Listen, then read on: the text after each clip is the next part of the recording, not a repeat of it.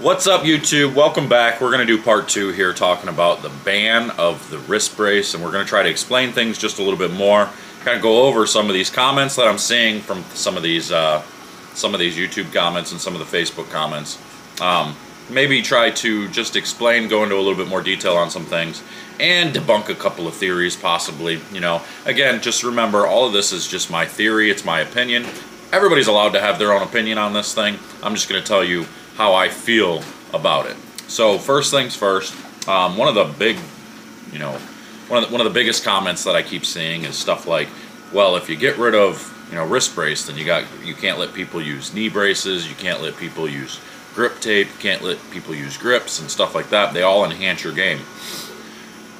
I do understand the premise behind that. I understand your thoughts behind that, but I think you're taking it a little bit out of context. Like a knee brace, for instance, doesn't lock you into a position that betters your technique.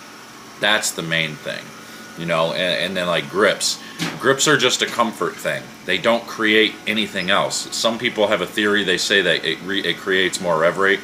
It really doesn't. It actually just gives you more grip. And there's also many different ways to give you grip. Like that lift on the grips is a quarter inch lift, so the flat side. A lot of people use that flat side, and um, they say, well, that's an advantage in itself. Well, no, it's not because really, if you even if you didn't use grips, you could just pitch your finger holes a quarter underneath. You'd have essentially the same thing.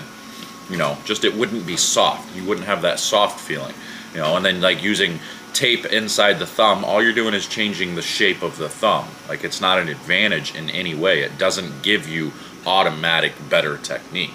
You know, so uh, those are things to think about. I had another guy talk about sur LASIK surgery or eyesight. Like if you have good eyesight, you're in you have an automatic advantage. Should we make everybody go blind? That to me is that doesn't make any sense. I'm not really sure where that was going, but no, that that really doesn't make any sense at all. You know. Now here's the next big one. Next big one is well, if you're going to get rid of wrist braces, why not get rid of two-handed bowling? The answer to that is really simple now, again, it's just my opinion, but we're looking at two completely different things here. One is a technique or a style, the other is a device that improves technique and your style.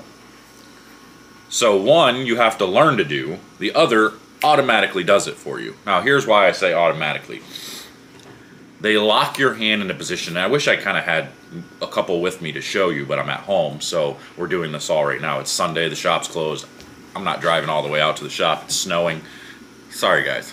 But uh, the one, what people need to understand is not all wrist braces are banned. Okay, so everybody, I got people that are also saying, well, I have a bad wrist, or what about the people who have had surgery, or this and that you can still use wrist braces. You still are able to use the ones that wrap your wrist and that keep those tendons tight, everything like that. They even have some that go up your arm a little bit higher that don't have metal positioning tools in them. They just wrap in three different spots to give you more stability. It's just like the forearm wraps, you know, they wrap right around to push tight onto those tendons. They're there for protection. They're there for um, for compression to help your help your arm, help your hand, help your wrist. You know, the other ones that are banned are the ones that have the metal that go across the back and you know they keep your wrist firm and they automatically keep your hand like this so you can't break it back. You can't go back because that's the common thing that happens. Here let me show you real quick. Let me get a, a little bit better view and I'll show you what I mean. All right so the thing that happens let me get you a little bit lower here. Hold on one second. There we go.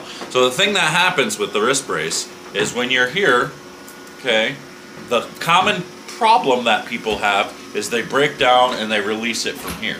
With the wrist brace, it automatically improves your technique, your style, and gives you an advantage to be able to repeat that time after time after time without having to use the technique of cup to uncup and doing all that stuff or without having the technique of being able to hold the ball up underneath for that split second you need to do it you know so that actually forces you to stay here Whereas without, a lot of people's mistake is to go on top and around the ball this way where you're breaking down. And I understand why people use them. Like it makes complete sense as to why people use them, you know, but good coaches should be training these people to use them to get them to understand the feeling of what it feels like to keep that wrist up underneath the ball at those times. Then they can recreate it without. Now they say, well, what if somebody's not strong enough? Honestly, it's my belief that rev rate isn't created by strength. Um, and I can show you a lot of different things to prove that, but rev rate is not made by strength, it's made by technique. It's all in your form, it's in the the movement that you make, and it's all a quick movement. Um, and, and really, you're only holding the ball up underneath and cupping it for a fraction of a second before you're actually releasing and uncupping at the bottom of the swing. So um, that's kind of one of my big gripes where I, I hear an awful lot of women say, you know, well, you know, I don't have the strength of the man, I don't have the power of a man. There's a lot of women out there that actually do the right thing. I shouldn't say a lot. There's a few women out there that do the right thing and create an awful lot of power with their hand. Um, and they're not necessarily big, you know, strong type women. You know, like the first one that comes to mind, and she does it well. Uh, I, wouldn't say it's perfect, but she creates pretty good rev rate with it. But like Erin McCarthy, anybody, anybody that knows Erin McCarthy, she's uh, 100 pound, 90 pounds soaking wet maybe. And I don't, I, I, don't mean that in any disrespect. I hope she doesn't take that wrong. Um, I'm actually trying to give her some credit here because she does a lot of really good things. She's got a lot of power for being such a small girl, you know. So anybody that's paid any attention to the PWBA can can see that. You know, you got people like Diana Zavjalova, or Zavia, did I say that right? Zavjalova? I don't know. She does a lot of good things with her hand. Um, needs some improvement. And, and again, I'm not judging anybody. I don't think I'm a complete expert. I think I've got uh, a lot of experience under my hands with coaching and, and everything else that's been going on. So um, keep in mind, I am going to be trying to put together a rev rate clinic, especially for this. People that want to learn to bowl without wrist braces and stuff and want to learn the proper techniques, we're going to put a class together specifically for that. So women are invited. If you are uh, trying, if you're struggling to do the right things with your wrist, we're going to put that together and we're going to, you know, show you the proper techniques and whatnot. So um, there are some women out there that do the right things. You know, Daria is another one um, that that creates a good amount of rev rate. Um, but again, you know, and she's probably the best when it comes to getting her hand in the right position. You know, so again, these aren't very like they're not, you know, masculine women. They're not super strong women. They have better technique than most. You know, so uh, we're not even going to get into the argument of anybody that uses them and to try to say anything against them because you know, most women are fairly consistent already. Um, the wrist braces just help them to create just that little bit more. You know, so is it really an advantage? Um, when it, when you get to a certain level, no. You know, that's why you don't you don't see anybody on tour using them on the guys tour. This rule isn't going to affect anybody on the PBA 50 tour. It's not going to affect anybody at the regional tour. Um, it's just the national tour that you're not allowed to use these, and I think that's a good thing. And here's the reason why I think it's a good thing: um, a for integrity, b because it makes the kids, the people, the aspiring young folk, or anybody really who's trying to get to the level of bowling on tour, um, it makes you adapt and learn right away, learning fundamentals and technique with the release early on to where you can create these types of motions, these fundamentals before you even make that jump. You know, so it, it teaches people to to create these fundamentals early and not get stuck into a wrist brace and feel and use it as a crutch their entire career. Um, so again, I have to reiterate, I'm not this is this means no, no ill will towards anybody that uses them. Uh, I have honestly, I mean, I could care less. Uh, if you use them, I think um,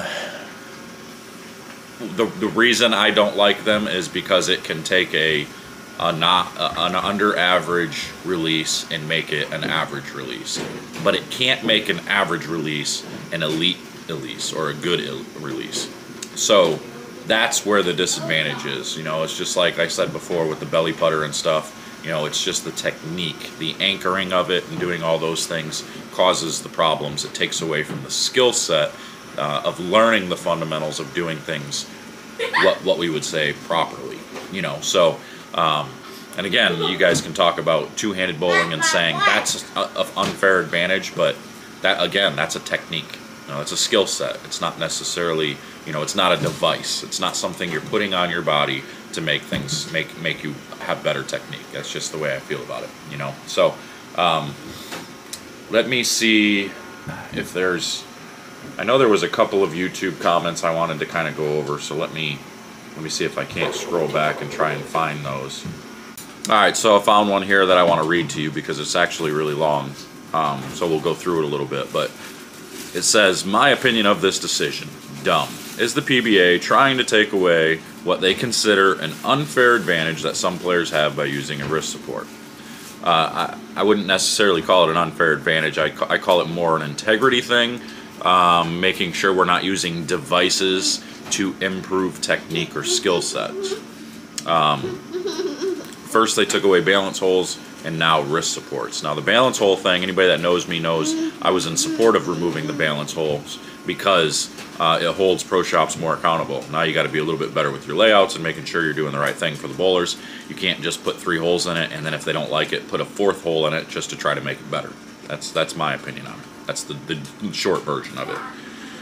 Uh, it is stupid, honestly. The only people being hurt both of these rules are the low rev players who benefited from both balance holes and wrist supports that allowed them to compete with high rev bowlers.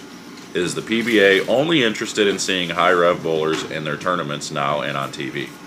I can't say that they are, um, but I can tell you that it's more entertaining to watch those guys than it is to watch, you know, a low rev 150 rev person. You know, um, at, there's times when watching precision and accuracy is fun, but we don't see those types of conditions very often anymore. Now it's more so about being able to create as much room for error as possible. If the PBA is so concerned with leveling the playing field and letting only skill determine who wins tournaments, then why the need to do this is simple. Ban reactive resin balls, ban urethane balls, ban dynamic cores in balls. Now, those three things um, I can understand the premise behind thinking that because those are technically devices that, if used properly, can better your game. I can see that, and there's been a big discussion on, you know, going back to bowling balls that only have certain diffs and certain RGs and not allowing certain style cores and, you know, blah, blah, blah, blah, blah, all that good stuff. So I'm not going to discredit that completely. Um, I'm not saying that's what we should do, but I understand the premise behind it. Only allow rubber and plastic balls with pancake weight blocks. Only allow a simple label layout on all balls. Bowlers can alter surface, and that's that is all. Then the players with the greatest skill, consistency, and accuracy would dominate the game. If they are not willing to do this, then stop making hypocritical and idiotic decisions. Now, see, um, I think by doing all that, all you're going to do is you're going to make the two-handers and the more powerful players dominate that much more. I mean, people who already have better fundamentals are going to win that much more. You know, so that actually doesn't level the playing field. That makes it more of an unfair advantage for those who have high rev rate already. So that's kind of where I'm at with this. And you, so I wouldn't say that I wouldn't necessarily call it an unfair advantage. I just I look at it as an integrity thing to where you shouldn't be using a device to better your technique. You need to get your technique better um, without devices. It's the same like in golf. Jeez they don't let you use all these things that you know those things that hang from your hat and you know these lining these adjustments and lining up thing. I mean they just don't let you use any of that stuff at the elite level. You want to use it in recreation and all that which is why i'm saying i, I don't think anybody's going to the usbc is not going to adopt this rule i don't think. Um, i think they should adopt it for the pwba but because it's the elite level I don't think they will because they have a lot of ladies that use them and they've just grown up using them and that's all they've really known. Um, and again, no shade, nothing, nothing against them. You know, a lot of really good bowlers use those things. So um, don't want to take anything away from them, but I do think that a step in the right direction for integrity was getting rid of this rule or getting this rule in place. So um, other than that, that's all I got. If you got any more comments or anything, leave them below. Let me know what you think. Uh, until next time, I'm out of here. See y'all later.